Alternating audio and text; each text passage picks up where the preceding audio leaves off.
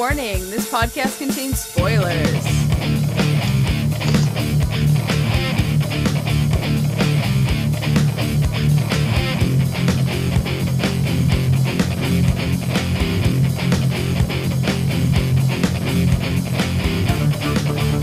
What's up, everyone, and welcome to another episode of the As Seen on TV podcast for Agents of S.H.I.E.L.D., Season 4, Episode 17 Identity and Change. I'm your host, Mike, and joining me is Madam Hydra. and Clio. Also, Jake behind the Madam Hydra. Oh, hey, hey, guys. Hi. Madam Hydra and the Winter Soldier. we got you. I drew I, I- I drew that just now So, Oh, not bad. That's very quick. good.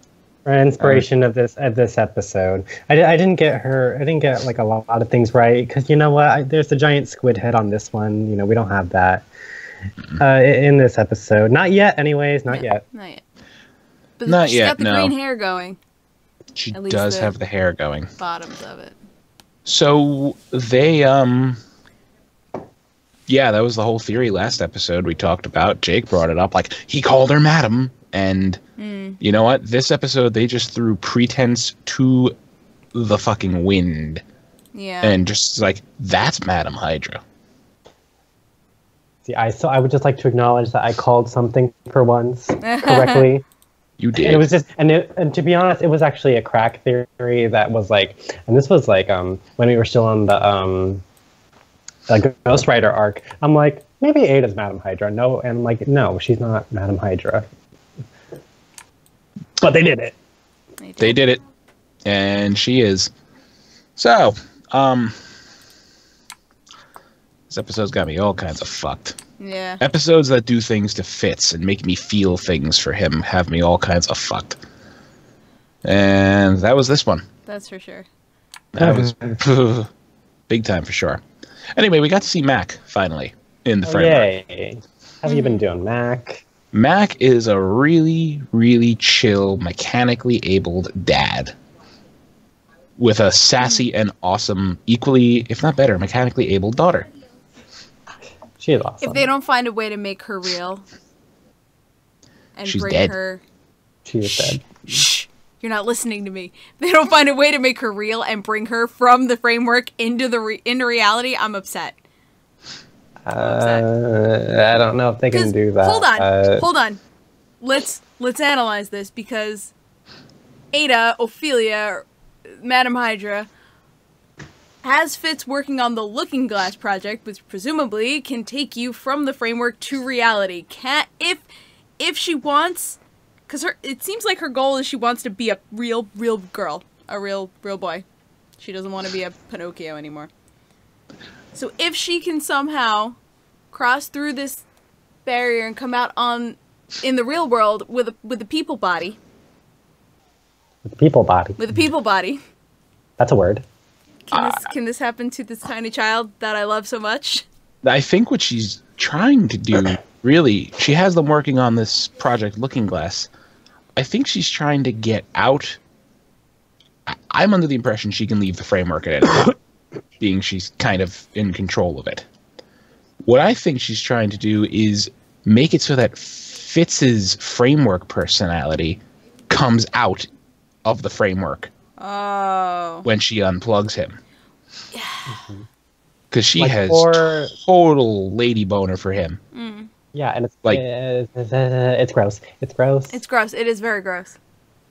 She is like head over, like like you know, she developed feelings. She is the android who loves, and she loves Fitz.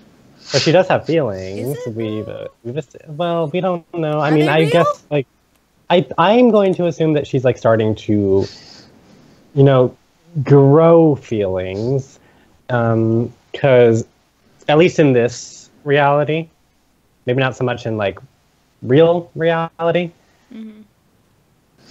But I don't think uh, hope can come through because I think that's kind of a cop out because hmm I mean, the whole point of the framework is to get rid of your regrets, whatever they may be, and um, I guess Mac, Max is um, hope, I guess.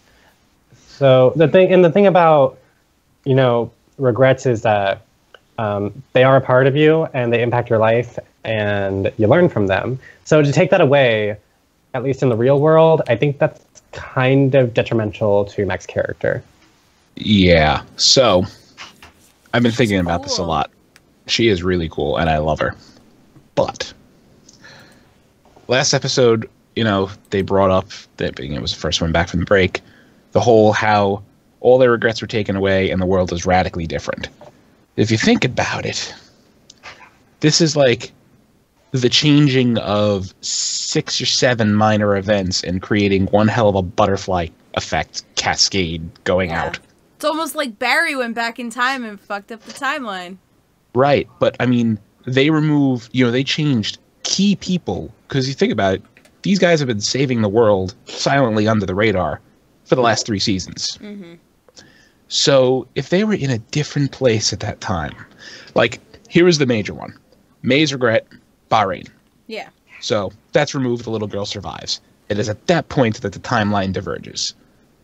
And the way it majorly diverges is that girl was an inhuman. And she killed a whole bunch of people at Cambridge, and Inhumans came out to the public before the events, I would say technically, of the Winter Soldier. It would seem. Yeah, because it, it gave Hydra the power to take over without any resistance. Right. Without Which any also resistance. wears Captain America. I'm going to imagine he's dead. Fuck that. I or agree. he's not or he's not Captain America.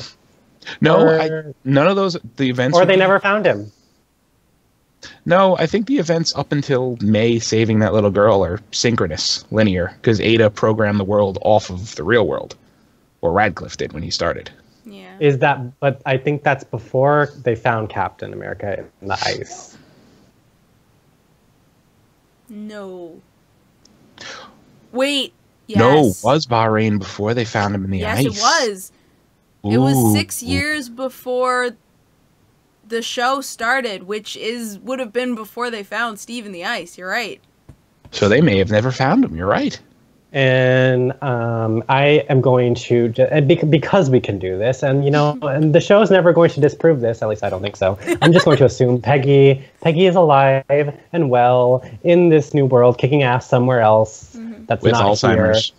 Bec- no, no, no, No, she's fine. she's She's, perfectly framework, fine. fine. She's perfectly fine. And this is, and I think, um, well, I at least I hope that I, Ada wouldn't put Peggy in the framework. She just wouldn't. But I'm just going to assume that uh, she did because I need my baby back. Um, and like we could, we could have just a small little cameo. Can we have that, please? Here she is. Like they're twins. Um, Twinsies. Lindsay, and here's Steve. Oh, look, they go together. Look at that. Uh, aren't they a nice have couple? A, I have a different Steve. well, I have. This is the civil. This is the Civil War, Steve. So Oh, the- okay. this, look, at this, this this is nice. You guys, Marvel. This is nice. See this? This is nice. This is functional. We're gonna We count how this. many You know, Captain Americas I have on my desk. We're going to, for the very first time, take a take this out of the box here. Oh, it's only three. I'm upset. It's only three. So I'm going to see your Steve Rogers multiple versions and Peggy Uh-huh. Carter and raise you Yellow Jacket oh, nice. because that is the only Marvel vinyl I have over here. That here. does not. That doesn't Mike. fit into this universe. It might, but Almost all the vinyls I have on this table are Marvel. Where's my Daredevil? I still need. I still need my Agents of Shield. Uh, I have the only ones I have in reach are Yellow Jacket and Pharah. oh, nice. Overwatch. My Pharah's So- downstairs. Well, the only the only other one that I haven't reached isn't a Marvel one. No, it's um, it's So- uh, A- it's a- Agatha, my weeping angel. I'm going to put him back away until I figure out what the hell to do with him. Now that I can't get him back in the box. Ah, I keep Bad idea, breaking Mike. Bad Logan's plan. motorcycle. That that's a terrible thing to do. Get Mac to fix it. Um. Anyway, I'm just fascinated by the alternate. I I don't know why I like these alternate timeline event Yep. things so much. Where like are the other Avengers? Because um, there were other heroes that existed before Captain America. Yeah, it's true. Um, well, And- before well before you know post-war Captain America. and you know what? there was the original Ant Man. There's Hank Pym. Yes. and Right. wife. Where are So- they? They did mention the incident in this alternate universe in, in the framework, and nobody's dead. Like you know, the world isn't destroyed, leveled. The aliens have not taken over. So clearly someone was around to combat them at the, the Chitauri during the incident. That's good. So- Um. Well, Good. I guess Thor could, I guess, potentially. Well, Thor still exists. Whether or not he came to Earth, we don't know. Anyway, we're diving down a crazy rabbit hole. yeah. Project Looking Glass, all that stuff. Point is, Ada Point fucked is- a lot of stuff. Ada has fucked a lot of stuff up. No, she didn't. She changed only. She said she only changed the thing that they regret most. Whatever happened beyond that, was That out of nothing to do her with her. control. I don't think she's telling the truth because Radcliffe sort of tries to call her out, and so Yeah, you've he been does. you've been meddling with stuff. I I think she's she's put her fingers in more than she wants to admit. oh, you put your you, you did put your fingers in things. Oh no! Why? Ah! Anyway, Ow! anyway. They find Radcliffe on an island east of Bermuda, an island that should not exist. So that's probably a way Ada was meddling. It's like, hey, guess what? Here's a nice paradise island that shouldn't exist. And its all inhabitants are Radcliffe trying to figure out a croquet mallet in the most awkward way imaginable, and a very, very confused Agnes who I feel really bad for. Oh, Agnes, Agnes, mm-hmm. Agnes, Agnes. So, I mean. Radcliffe is trying to dig into fit, you know, get through to Fitz. Like, you know, you were a good guy. We were best buds. We watched football. We knocked down a pint or six. We did all these things. You helped me design Ada. And like, the whole reason she's freaking out is because I'm right and she doesn't want you to figure it out. Mm-hmm. Which, for someone as intelligent as Fitz, should have been the gigantic red flag. Like, yeah, she really is overly upset about all of this. Why? Well, I think He loves her. I think you got to look at it too. She's claiming that he, imp- you know, Right. imprisoned her, forced her to do all this stuff. That's pretty serious stuff. Very true. She's you know not hundred percent wrong about. No, she twisted a little. Of Her- course, you know, to make it. You fit know, she's right. You're right. She's not 100% wrong or erroneous. She's just embellishing the truth a little bit. I mean, from an emergent AI standpoint, all everything she said is true. Like every word for word, and this goes into multiple different sci-fi things. And it's fresh in my head because I've been playing Mass Effect a lot lately. so, and and that's a recurring topic of all the Mass Effect games. So, yeah, I mean, it's a sellable story, and I just I don't know why I didn't think of that two seconds ago. Yep. Anyway, uh, moving on. Mace, Moving on. director Mace. Oh yeah, he's back. He's Hey, got a how are scruff- you doing? Oh my I god! like it, I love it. and he is he is the Inhuman leader of the Resistance, also known as the Patriot. And Coulson Question. is uh, he's a, he's a geeking out. Oh no, I'm gonna get. I am saving time for Super Coulson. He is coming. Mace, however, actual Inhuman in the framework, or I- just the same ruse? I don't know. If he wasn't inhuman in the real world, I don't think he is in this world. But there's the, the other question. I think I've brought up before. Has Mace ever been exposed to Terrigen Mist? I think they. I think he was. Because like Hmm. I don't went think to check, did we? we ne- we No, never didn't. did. But Uh, terrible. No, but I would assume that he was if, because like if you wanted an inhuman, you know, for um as a face shield, wouldn't you like use an actual one? So like I would assume they would test everybody, and yeah. they and they have a way to test Terrigen Mist without killing people now, so it wouldn't hurt. yeah, they separated it from the uh, what was it? I forget the name of the device in season two. The golden Uh, thing that the stonified people. The diviner, yes. They separated it out from the metal. But So I'm just going to assume he wasn't an inhuman. Like they tried it, it didn't work, but they're like, uh, you're kind of a charming guy anyway. So like here, here's it. Here, here's this we like you. serum. Here's this serum that you know it's, it's perfectly fine. Don't worry. we just took it from this Oh, crazy ass dude.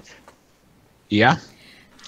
And And I said it before, but my favorite thing was how they reacted when Talbot told them it was part of the Hyde serum. They were like, "Are you fucking kidding me?" Like it was my exact reaction. I was like, "Oh my god." it's like, really, guys? Really, we Talbot? altered it some. Fine. Yeah, sure, you It's altered it. Fine. No, You it's removed- okay. We took the peppermint out. It's I was just gonna say that. We removed the peppermint. I forgot about the peppermint. Anabolic See, it was a bit- steroids. It was a bit. It was a bit spicy, so they needed to take it out, and that's all the problem was. Anabolic steroids, human growth hormone, gorilla testosterone, and I kid you not, a touch of peppermint. Like, yeah, no, do not take that. Even with the peppermint, even without it, don't take it either way. It's bad for I you. mean, you know, the peppermint was just that's the only problem. You take it out, it's fine. See, it's working. It's working. I Apologize for my randomness, but Coulson was mentioned, and I've been too distracted by that to concentrate on anything but mm-hmm. Coulson. Because at the end of last episode, he looks in the mirror at Skye, and he's just like, Daisy? Yeah. It's like, you broke through to him. Congratulations. Not enough. Well, Like it, really not not enough. But it was enough to get him on their side, and that's really all they Yes. need until they can get everybody out. So Coulson, the teacher who seems to toe the party line, calls Hydra unsuspected subversives and all that stuff, is a fucking conspiracy nut. Tinfoil hat. I swear to God, there's one in his room. I feel like he already was. Think about it.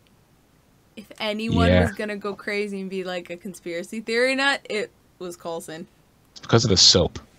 The mind control The, soap. the soap, the anti-mind control. Soap, I live because alone and I make soap. It's like he makes soap, and, and it's You just know, like to, to really? counteract the brainwashing. the blue soap.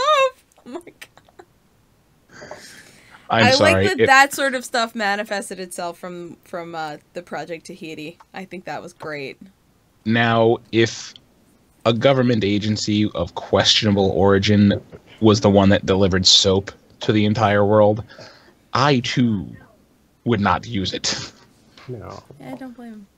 Like if suddenly, you know, all of the soap in the supermarket shelves got replaced with officially sanctioned CIA soap. Think about that just for a second. If the CIA CIA supplied your soap, would you use it?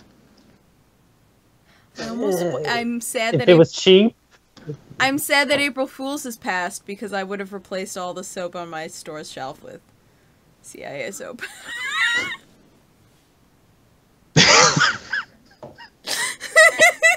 Maybe gotten fired would have been worth it. Would have been worth it. Okay, anyway. I love Coulson.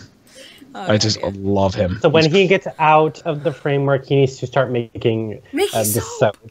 And then sell it on Etsy or Shield soap. something. Yeah. yeah, some shield Oh soap. no no no! Captain America soap.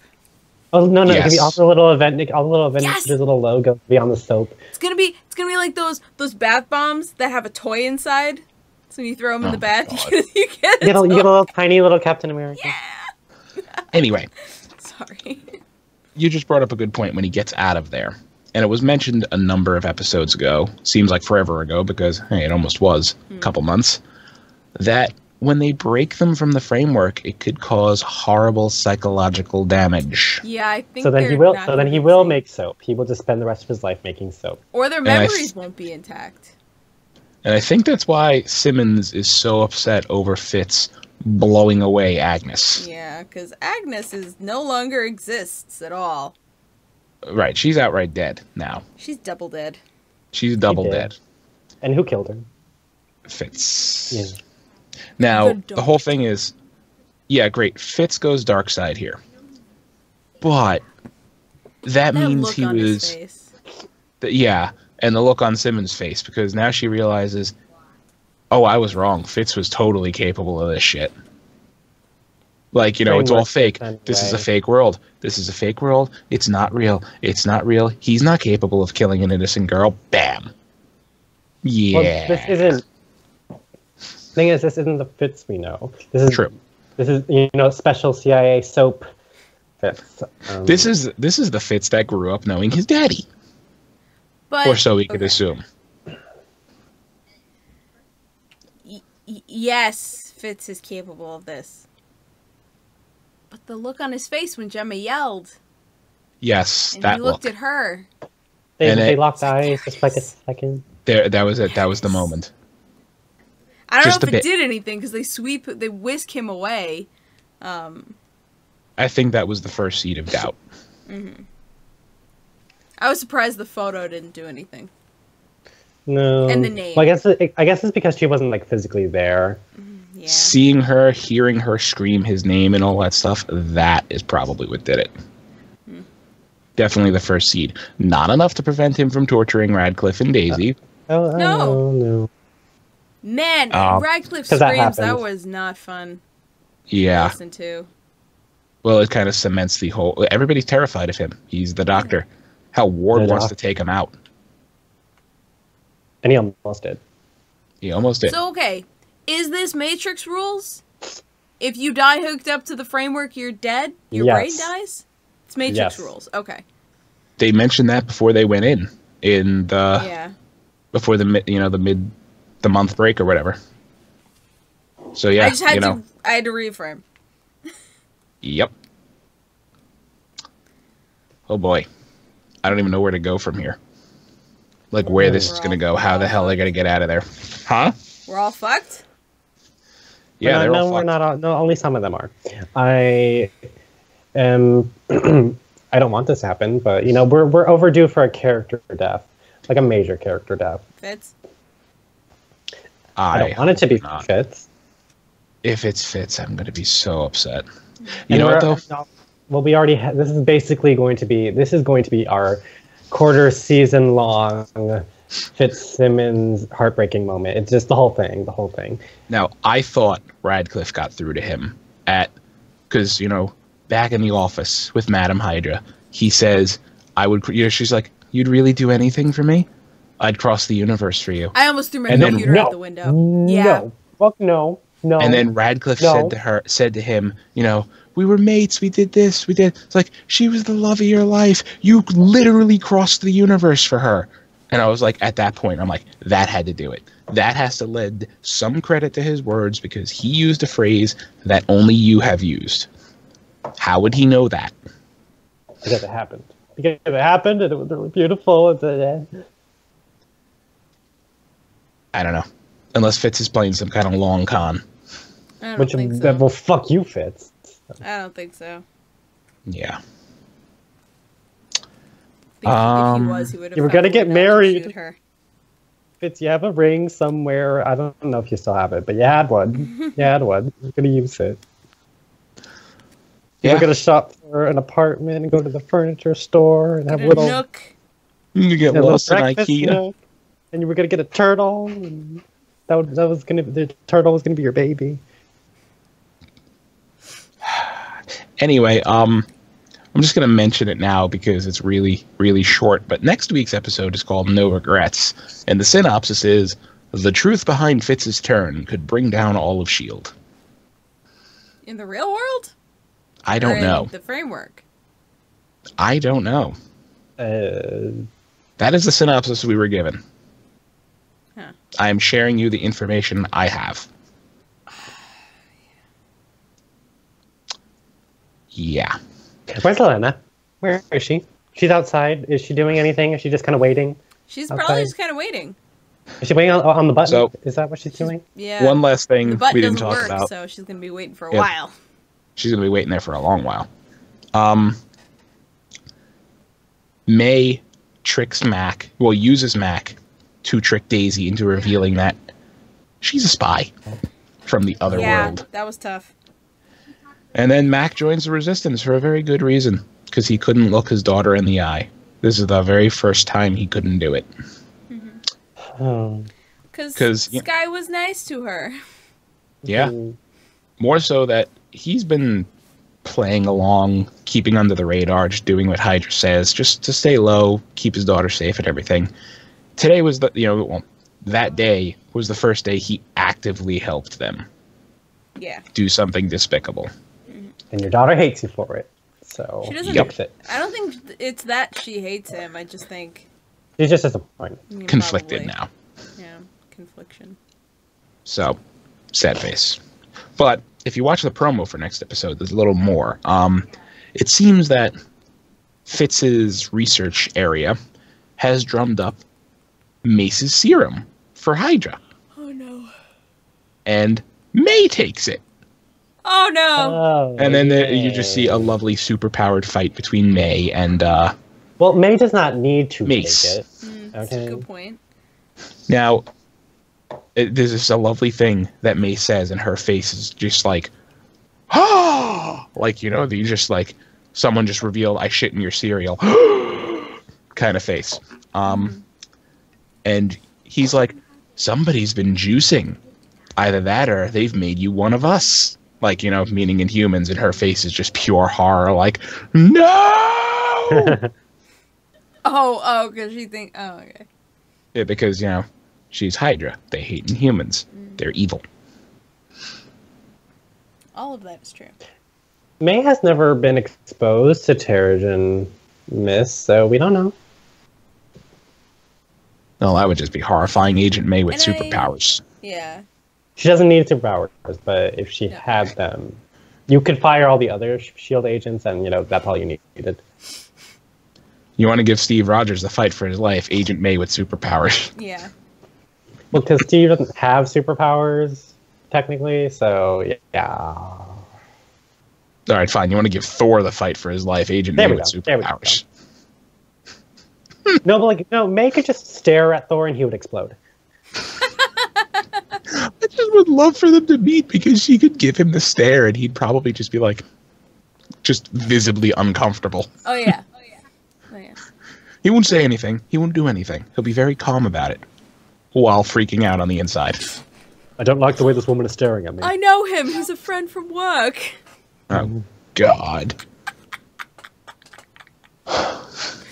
You All I've been seeing are trailer. pic- yeah, three, all I've been seeing it. are pictures of the Hulk next to a picture of Shrek wearing the same thing. I'm serious. And I have a feeling this is where they got the idea for that outfit. I'll have to look at it. Okay. Yeah. Anyway, is there anything else to mention besides of this? I, I don't know why I like Fitz so much. Because Oh, I don't know. I, I don't know why I like the Fitzsimmons pair as much as I do. but episodes that Well, fuck because- with that dynamic really fuck with me. Because we've been waiting for it for so long, and when it finally happened, we're like, "Yes, it's happening," and it doesn't suck. So, and, and It's you know, and they're and they're cute. They're they're just cute, Yeah. and they're functional, and they're they were best friends first. So like we already had that chemistry, and so just for them to like take it to the next level and actually admit the feelings that they had, because Fitz had those feelings first, and Jemma didn't, and then she developed them over time. So, and they've been through a lot together, literally to the ends of the universe. And these aren't just like two people in love, two people in love who are partners, and they've saved the world together. That changes you. So, they they have a bond that really cannot be broken. Right. So I think that's why we love Fitzsimmons so much. Yeah. Emotional journey. Mm-hmm. But I think on that note, that's our show. And that is your inspirational speech from Jacob today. Yay. I like it. We need more of those. Speaking of which, Jacob, where can they find you?